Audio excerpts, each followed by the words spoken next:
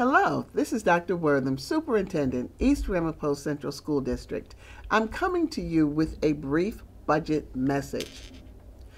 The mission statement of the East Ramapo Central School District. As a unified community, the East Ramapo Central School District is committed to educating the whole child by providing a healthy, safe, supportive, engaging, and challenging learning environment. We want to share the fact that no one wants to think about what would happen if there was a failed budget. No one wants to think about a contingency reduction. However, if the budget fails, we would eliminate $900,000 from non public transportation, six days. Eliminate 1,929,000 from the administrative component of the budget. Eliminate $200,220 from the instructional component of the budget, totaling $3,029,220.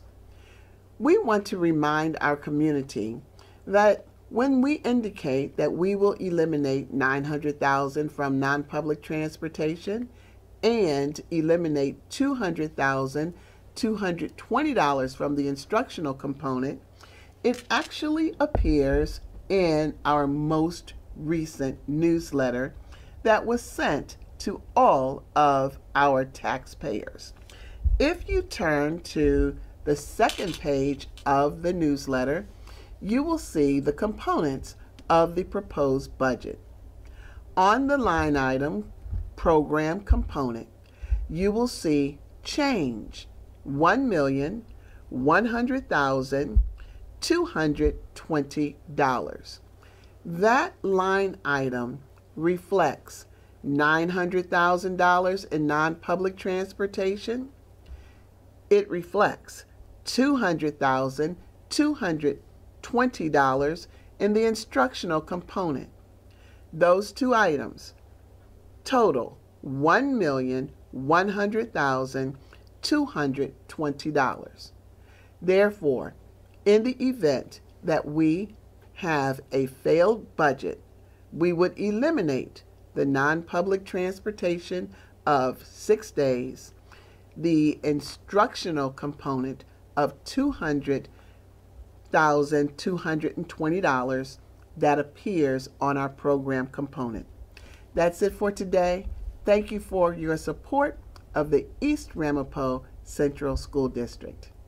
My name is Jimna Aurelis, and I'm a freshman at Spring Valley High School.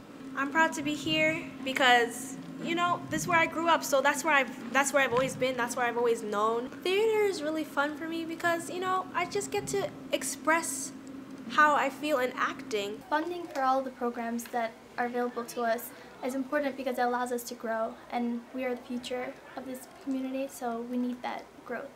I'm Norma St. Victor, and I'm proud to be a Spring Valley High School Tiger. I think in order to be like a leader, you need to also be a well-rounded person. And without everything that we have here right now, there would be no way for us to do that. The budget supports so many things that I love to do in school, such as sports and also the extracurricular activities. I feel like school is not just about learning, it's about the other things that we can do and the other things that will look good on our college applications. I'm a student who loves to do math and science courses, and I'm very strong in those courses. But sometimes I need a break, you know. But without the arts, we won't have those. The arts program is amazing. Um, the marching band is killing it, and it's pretty much everything right now. My name is Andre Kolak, I'm in ninth grade, and I'm proud to be in East Ramapo.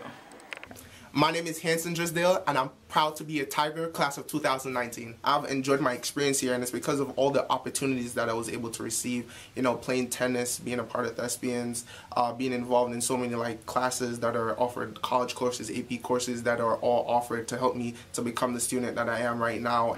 Having different classes helps me grow as a student because it, it gives me an opportunity to explore different areas of what I may want to be when I grow up.